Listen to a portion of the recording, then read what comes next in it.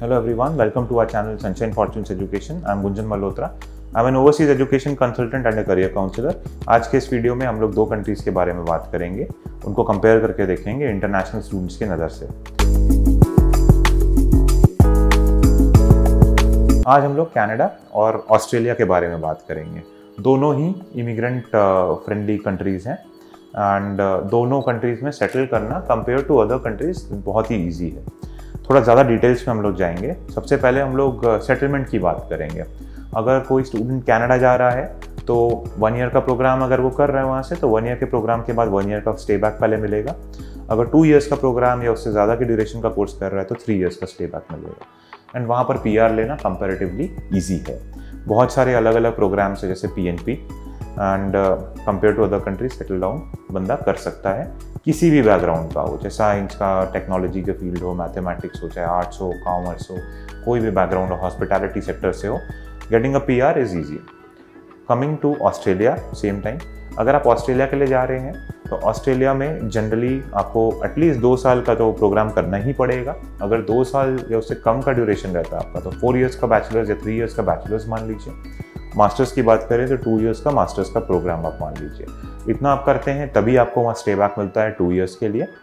ना ये करने के बाद अगर हम लोग ऑस्ट्रेलिया की बात करें, ऑस्ट्रेलिया में आप किसी भी बैकग्राउंड का, अगर आपका एजुकेशन का रहा है बैकग्राउंड तो ज़रूरी नहीं है कि आपको वहाँ पर स्टे बैक मिलेगा ही मिलेगा। इन केस ऑफ़ ऑस्ट्रेलिया, उनके पास एक स्किल शॉर्टेज लिस्ट होती है और अगर आपका जो बैकग्राउंड है और प्रोफेशनल बैकग्राउंड एजुकेशनल बैकग्राउंड है, वो उस लिस्ट में आता है उसी केस में हम लोग एक्सपेक्ट कर सकते हैं कि आपको ऑस्ट्रेलिया में पीआर मिल सकता है लॉन्ग रन में।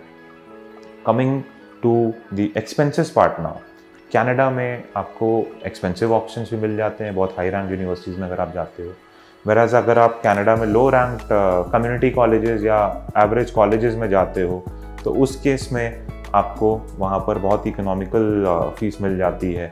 Let's say per year 13 to 16 lakhs including tuition fees and living expenses सारा कुछ मिलाकर आपका एक बजट बनता है और आप वहाँ पे एजुकेशन ले सकते हो। बट ऑस्ट्रेलिया की बात करें तो दो साल का ही कोर्स करना पड़ेगा मास्टर्स ही करना पड़ेगा। बजट जो है आपका टू ईयर्स का 40 40 प्लस 40 लाख्स प्लस चला जाता है।